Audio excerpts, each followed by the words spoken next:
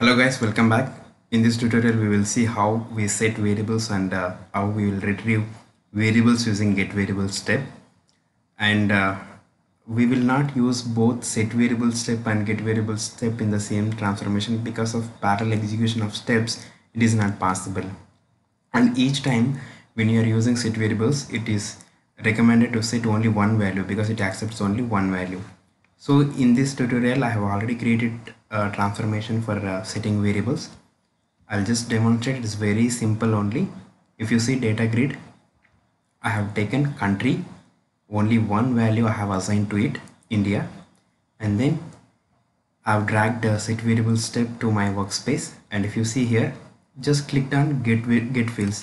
So when you click on this get fields, it will be country name of the field that is coming from input you can change your variable name and followed by variable scope type which means where it should be valid valid in the root job valid in the java virtual machine parent job grandparent job. So for now i'm taking the root job which means it will be valid throughout the job moving forward okay? And java virtual machine means it will be applicable to the environment like environmental variables. Now i'm not supplying any default value. So click on ok and this is one transformation that I have saved with name set variables and similarly get variables. I have created one more transformation. And here my first step itself get variables. And double click here. And I'm giving one new name get country. And the variable I should give a dollar and then flower brackets and within this country. So country is the name of the variable that I have set in this set variables. And it is of type string. And uh, no need to uh, worry about our remaining fields. Let's let's leave that. And click ok. So now we are ready with set variables and get variable step. Now we know we cannot use these two in same uh, transformation and we will be calling using the one job created here. So as usual start then followed by two transformation object. And i have browsed uh, set variables first set variables transformation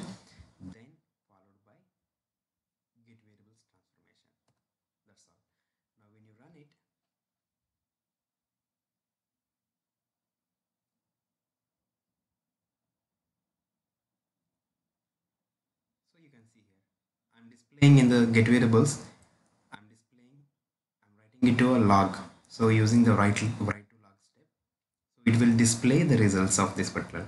So if you see write to log get country India, let me change the value in the set variables and rerun the job again.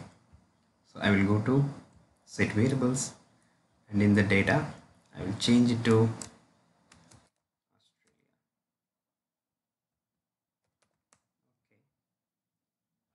save this and go to test variables job right and let's see what the value in the write to log.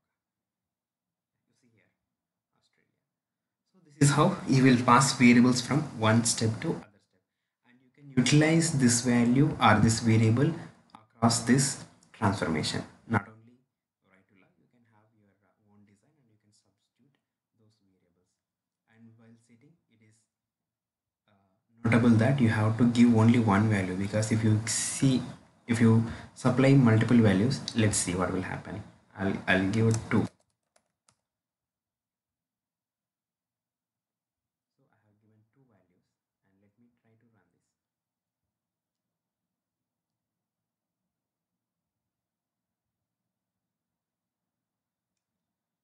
you see error only one input row was expected to set variables and the at least two were received. So two received but only one is expected.